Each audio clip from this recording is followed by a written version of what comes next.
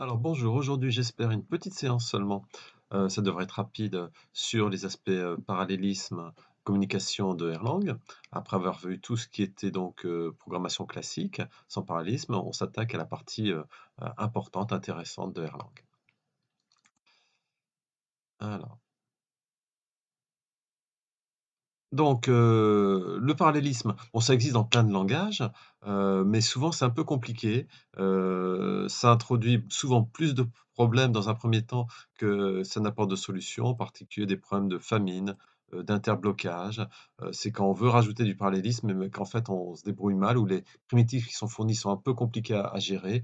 Et si on veut partager typiquement de la mémoire ou avoir une ressource qui est qui ne peut pas être partagé. Euh, il faut attendre, il faut euh, mettre des, sémaphores, euh, faire des sections critiques. tout ça, c'est un peu compliqué. Alors, de mon point de vue, je pense que c'est parce que le parallélisme, pendant longtemps, était une affaire de système. et aujourd'hui, je pense que ça doit se déplacer vers plutôt un côté programmation, mais programmation simple. Hein. Il y aura toujours un parallélisme pour ceux qui font du système, où ils ont à gérer des, des fermes de serveurs ou, de gros ressources pour plusieurs programmes. Nous, on veut juste gérer son petit processeur qui a plusieurs cœurs, pas une infinité. Il n'y a pas derrière 10 000 ou je ne sais pas combien de, processeurs. Non, il y a juste une dizaine de cœurs, plus ou moins, et on voudrait que son ordinateur fonctionne complètement, et pas seulement à 10% ou à 20%, quand un processus fonctionne que sur un seul cœur. Donc, on veut un parallélisme qui soit à petit grain seulement, où on va avoir quelques processus, donc il faudra réfléchir le jour où on fera ça, hein, à, quelques processus seulement euh, qui travaillent de manière euh, en général collaborative, plus que euh, concurrente, et donc ils veulent communiquer les uns entre les autres. Donc il faudra définir deux choses. une première chose, c'est la production, enfin la, mise en place d'autres processus pour travailler en parallèle. Et puis une deuxième chose, ça sera le côté communication processus. Donc la partie créer différents processus en parallèle, bah, c'est très simple par rapport à ce que j'ai connu avant en C ou bon, mettre au fork, mais bon, c'est un peu délicat. En Erlang, c'est juste il y a un mot-clé à apprendre, spawn et puis c'est tout pratiquement, hein. C'est-à-dire que là où précédemment avant, donc par exemple, je définis une petite fonction, dans,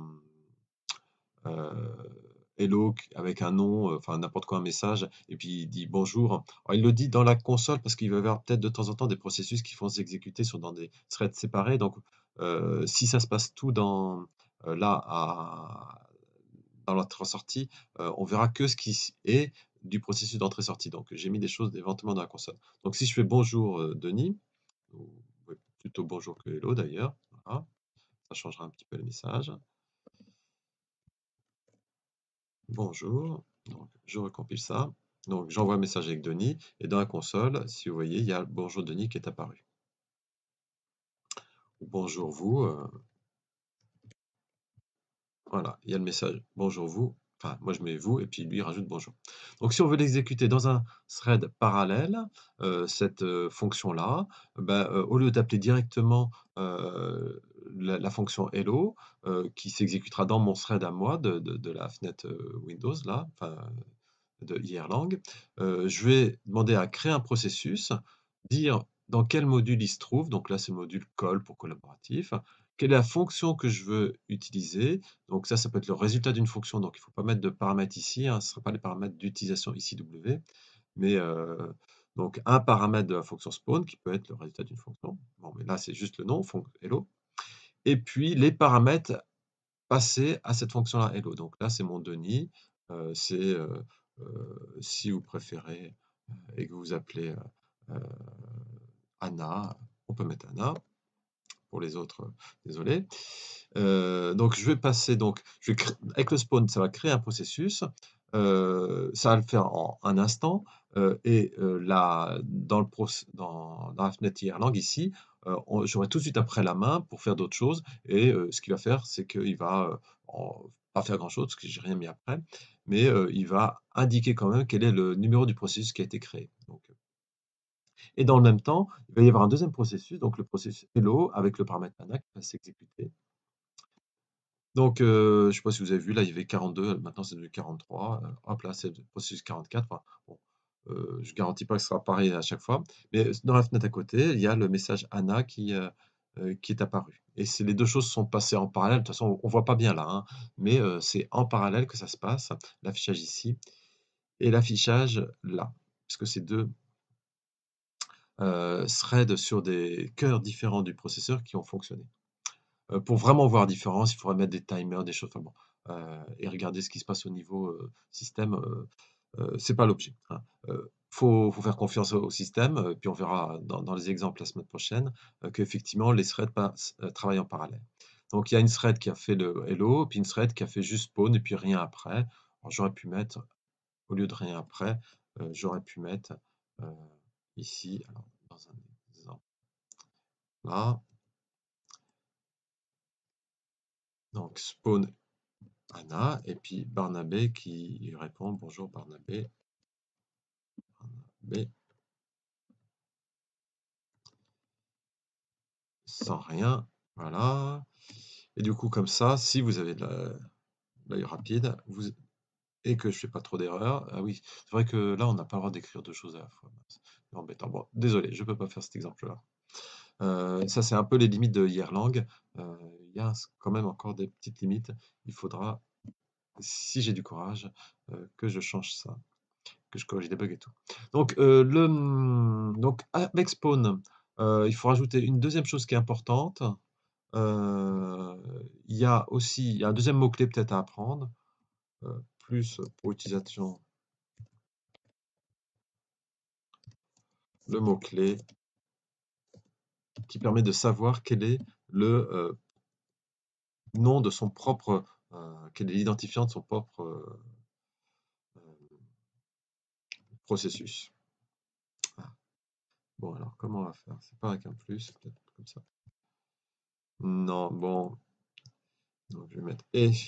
Ça, c'est les avantages, les inconvénients de Markdown, qu'on ne connaît pas bien. Donc il y a le mot-clé spawn à apprendre et, et pour l'utilisation aussi la fonction, euh, à chaque fois c'est des fonctions plutôt que des mots self, excusez-moi, qui permet de savoir quel est le processus courant. Donc le processus courant, je n'ai pas demandé, mais c'est le processus 35. Lui par contre, vous voyez, c'est toujours le même processus pour l'instant qui s'exécute dans la fenêtre, le processus 35. Et il y a eu d'autres processus par contre qui se sont exécutés. Par contre, à chaque fois, je crée un nouveau processus 46. Bon, il meurt dans, juste l'instant après, une fois qu'il a fini d'écrire bonjour. Mais... Voilà pour la création de processus. Euh, on peut en créer euh, à la volée autant qu'on veut. Et euh, à se rappeler, la création de processus n'est pas bloquante. sur la communication, ben, ça va être aussi donc, assez simple. il y a un petit mot-clé là très court, là, la, point d'exclamation pour envoyer des messages. Euh, et puis un, peu plus long, deux mots-clés, la receive et end. Et il y aura aussi après éventuellement receive end et aussi after pour euh, parler de l'envoi et de la réception de messages. D'abord pour l'envoi de messages. Alors, on va le faire dans une fenêtre avant ça. Euh, bon, je vais envoyer le message, je ne sais pas à qui, à, soi-même. Euh, donc, si je récupère euh, moi, je suis qui? Je demande pour avoir mon quelque part dans une variable hein, ma, ma, mon ID, parce que si j'ai pas de numéro de processus, il ne s'agit pas juste que j'écrive slash slash slash, je sais pas quoi là, 35, euh, je ne pourrais pas envoyer le message. Donc une fois que j'ai un numéro de processus, que ce soit moi ou autre chose, pour envoyer un message, eh je mets le nom du processus, l'ID, et puis après ce que je veux, je peux envoyer une constante, coucou. Euh, donc voilà, ça envoie dans la file d'attente, coucou. Alors ça apparaît pas ici, hein, parce que euh, mon message pour l'instant il est réceptionné par personne. Hein. je n'ai pas prévu pour l'instant dans, la fenêtre de recevoir des messages. mais je peux lui envoyer un deuxième message toujours à moi, j'envoie un deuxième message. Donc, euh, par exemple, euh, un truc, liste, euh, un briquet. Voilà. Et là, donc, il y a un deuxième message, un 2 qui a été envoyé à soi-même. Donc ça, c'est pour l'envoi de message, juste le point d'exclamation. Donc il faudra avoir l'ID du, processus à qui on va envoyer. Donc quand on va créer des processus, il faudra peut-être récupérer leur ID, éventuellement leur envoyer notre ID quand on veut qu'ils nous parlent à nous plus tard. Euh, ça, c'est pour l'envoi. Pour la réception, bah, c'est receive, et puis, alors est-ce qu'on peut le faire dans une, pour soi-même? Je sais pas, je regarde. Receive. donc si je reçois ça, je vais envoyer ça et mot-clé end. Donc après avoir reçu un message, voyez, il y a la flèche. En fait, c'est la flèche, tout comme dans les définitions de, fonctions, pour avoir plusieurs flèches séparées par des points-virgules, pour faire plusieurs cas de réception. Réception sur un message, là, c'est quelconque. Euh, par exemple, si j'avais le message 1, alors j'ai pas envoyé le message 1, je fais euh, oui 1 par exemple, et puis d'autres choses éventuellement avec des virgules. Et puis après, quand je veux faire une autre réception possible, par exemple, si je veux recevoir coucou, euh, donc je type le fait que quand je reçois coucou, je fais euh, bien. Donc je, enfin, je, je vois comme résultat bien. Ce qui fait que si j'envoie cette chose-là, alors là par contre, se méfier, ça va être bloquant. Ça va être bloquant tant qu'on n'a pas reçu de message, soit d'un type, soit d'un autre. Euh, autant l'envoi n'est pas bloquant. Euh, là, j'ai envoyé tout à l'heure et j'ai encore la main pour envoyer. Autant ici, ça va être bloquant. J'espère que as marqué, je vais console. Donc voilà, donc ça a marché, je suis super content.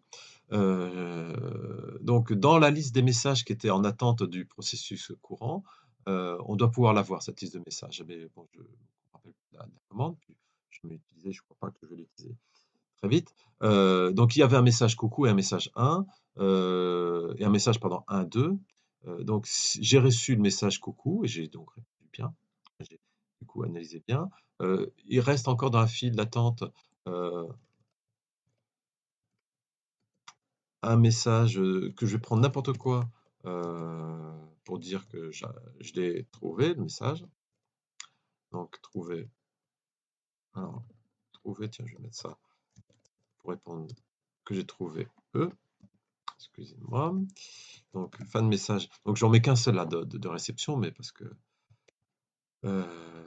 et j'exécute. Et donc voilà, dans la liste d'attente, il y avait trouvé. Si je relance là maintenant encore une dernière fois un receive, en fait, tant que j'ai pas de message, ça risque de ne pas marcher et je risque d'être bloqué. Alors, c'est là où il faut avoir aussi l'utilisation. Donc, par exemple, sur X, je dirais, ben, j'ai aussi trouvé X, c'est super. Mais si je ne trouve pas, je voudrais ne pas, pas être bloqué, donc je vais avoir un autre mot-clé, le mot-clé after. Donc after, alors je vais mettre 3 secondes, donc c'est en millisecondes. After 3 millisecondes, je fais quelque chose, par exemple, ben, je m'arrête. Et toujours end à la fin qui, qui répond au receive. Donc là, ce à quoi je m'attends, c'est que voilà, ça s'est bloqué pendant un certain nombre de temps. Et au bout de 3, secondes, voilà, le, le, timer s'est débloqué et ça a écrit fin. Donc du coup, je ne suis pas bloqué. du coup, il est, bah, du coup, ce que je voulais dire en plus, c'est que voilà, on a vu des flèches, donc on peut mettre plusieurs des flèches séparées par des points virgules, mais comme il y a des flèches aussi ici pour dire dans ce cas-là on fait ça, dans ce cas-là on fait ça, et ainsi de suite. il y aura des soucis, enfin, comme pour la fonction, hein, pas des soucis, mais des façons de faire les choses, du plus précis au plus large, avec des, clauses un peu génériques à la fin, et éventuellement donc des clauses de timeout. Et en plus, on peut rajouter qu'il y aura éventuellement des gardes. Quand il y a des flèches, on peut écrire, donc ce, ce truc-là par exemple, j'aurais pu écrire x when, when x supérieur à, 10. On fait ça, sinon avec notre clause x, when, x, autre chose, et ainsi de suite, ainsi de suite, ainsi de suite. Si je lance ça, je vais attendre un peu moins longtemps. Au bout d'une seconde, voilà, il s'arrête parce que je n'ai pas trouvé de x. Mais, mais donc, ça c'était en, console. Bon, on va le faire par programme. Alors, notre programme, avant que je le montre, donc j'imagine être un processus qui va s'appeler ping principal. Euh, et qui va demander à ce que euh, un autre processus Pong soit créé. Ping envoie à Pong un message, Pong lui répond et tout, le monde est content. Donc on va faire comme ça.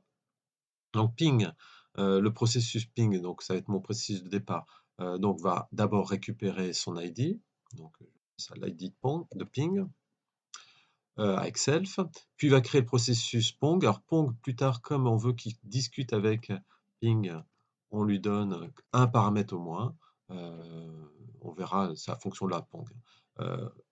et ce, paramètre, ça va être donc l'ID de ping. Donc Pong sera dans la même, même module, bon, mais ça pourrait être ailleurs. Hein, et on va appeler la fonction Pong qui correspondra au processus Pong. Donc processus Pong, une fois qu'on l'a créé, ping va lui envoyer un message, 1, et puis va attendre de recevoir un message. Lui, dans son coin, Pong, lui, va, donc il travaillera en parallèle, il aura eu comme paramètre un ID de processus, le processus pair, qui est le processus ping, euh, et il va attendre euh, de recevoir un 1.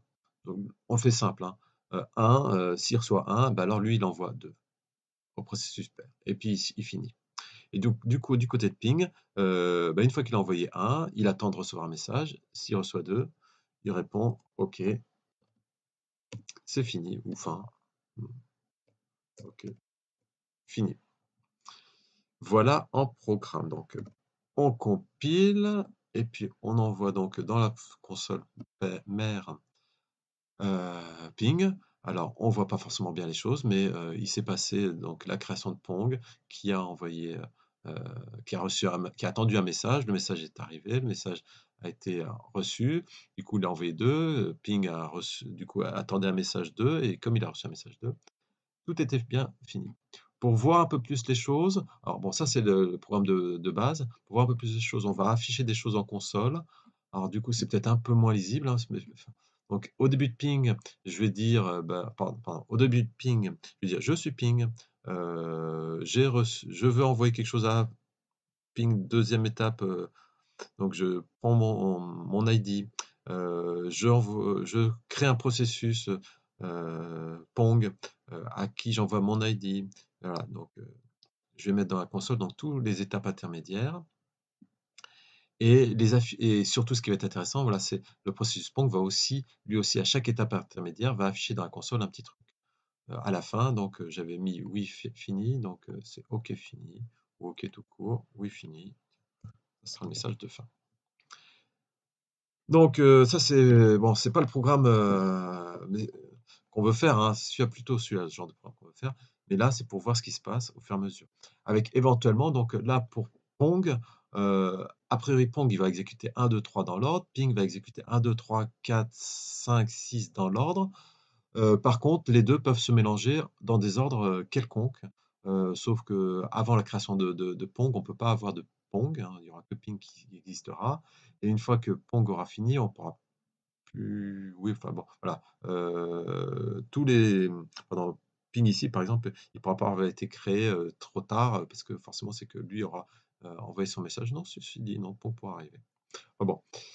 On va voir quand même ce que ça donne, mais tout n'est peut-être pas possible. En tout cas, on s'attend au moins à voir Ping et Ping 1 et 2 au départ, parce que jusqu'à ce moment-là, Pong n'existe pas. Donc on exécute, ping, déjà si ça marche, on sera content. Alors on s'attendait à ce qu'il écrive OK, euh, c'est que j'ai peut-être pas compilé. Euh, oui fini, voilà. il écrit encore OK? Ben, C'est oui fini que je m'attends à avoir compilé, avoir exécuté. Il euh, faut que j'explore ça. Euh, parce que là, il me répond. De, de son côté, en tout cas, dans, dans la fenêtre à côté, bah, effectivement, ping a exécuté le début. Puis après, il y a eu, vous voyez, un peu de ping, un peu de pong qui s'exécute en parallèle, euh, dans un certain ordre. Et c'est peut-être pas tout à fait toujours le même. Alors, 2, 3, 5, 6, là, ça a été deux fois le même. Alors, pourquoi c'est oui? Oui fini qui est affiché? Parce que j'ai peut-être pas sauvegardé. Oh, il se moque de moi. Ça devrait être oui fini. Euh, je ne l'ai pas testé ces derniers temps, mais euh, je fais une petite pause et puis je reviens. Voilà, je reviens, j'ai trouvé le problème. Le problème, c'est que ici, je peux mettre bien ce que je veux. Euh, ce qui est affiché, c'est la dernière euh, expression de, ping. Et la dernière expression, c'est ici YoFormat. Et YoFormat, lui, bah, il répond OK quand ça se passe bien.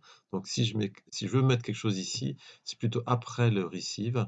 Euh, alors, pour voir qu'il s'est passé quelque chose, je pourrais prendre une variable, par exemple, l'instancier x égale, oui, et puis afficher ici x J'espère que ça va marcher. Pas. Et du coup, là, ben voilà, ça devient oui fini.